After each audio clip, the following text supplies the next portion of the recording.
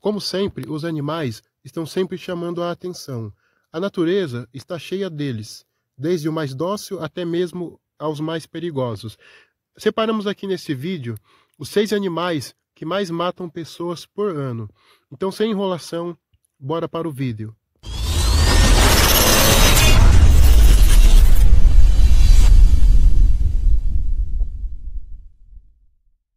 Já parou para pensar quais são os animais mais perigosos do mundo? A natureza pode ser incrível, mas isso não significa que não devemos ter cuidado, principalmente no que diz a respeito ao reino animal, seja através de dentes afiados, força insuperável ou venenos letais.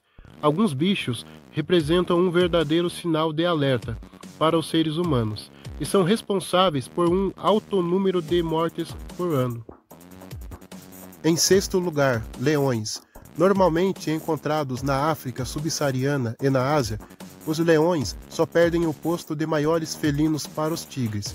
São carnívoros e se alimentam principalmente de animais como zebras, gnus, girafas e antílopes, mas podem se alimentar de qualquer animal. São predadores naturais e veem os humanos como presas, especialmente leões que não foram criados em cativeiro Estima-se que os reis da selva matem cerca de 250 pessoas por ano. Em quinto lugar, elefantes. Diferente dos leões, os elefantes não estão interessados em comer os seres humanos. Afinal, são os maiores vegetarianos do mundo e não atacam nenhum animal para obter comida. Mesmo assim, é preciso ter muito cuidado quando se sentem ameaçados por caçadores ou turistas excessivamente agressivos.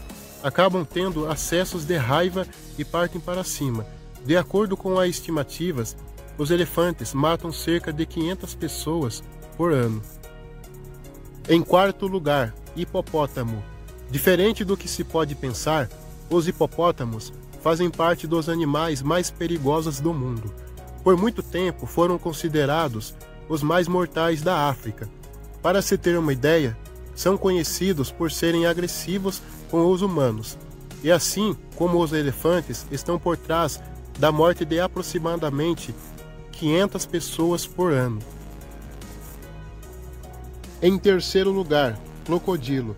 Ferozes e implacáveis, os crocodilos são caçadores oportunistas, e qualquer animal que apareça em seu habitat é uma presa em potencial. Os humanos não são a exceção. Estima-se que os crocodilos matam cerca de mil pessoas a cada ano. Atualmente são considerados os animais mais mortais da África. Suas mordidas têm uma força de 2.267 quilos. Em segundo lugar, escorpião. Apenas dois tipos de escorpiões têm veneno potente o suficiente para matar um ser humano: o caçador da morte e o escorpião amarelo encontrado no Brasil, principalmente em regiões do Sudeste, Centro-Oeste e Nordeste.